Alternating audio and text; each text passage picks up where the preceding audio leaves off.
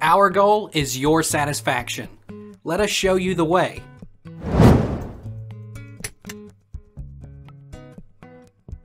Can microwaves cause cancer? Microwaves are not known to cause cancer. Microwave ovens use microwave radiation to heat food, but this does not mean that they make food radioactive.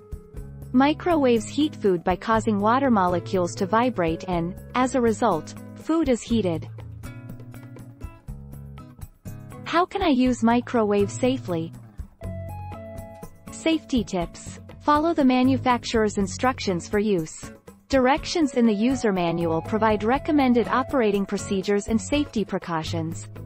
Use microwave-safe containers. Avoid superheated water. Check for leakage. Don't use ovens that seem to operate when the door is open. The 1st of September 2016.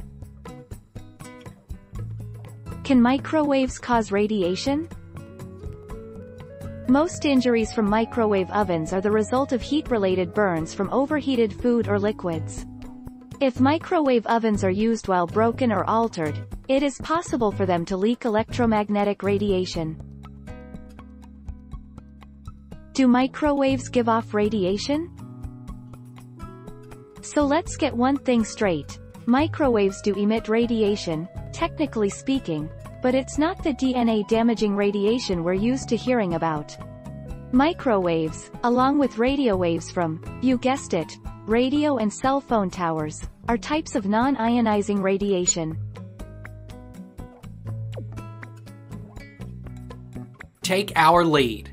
Let's help you make your mark.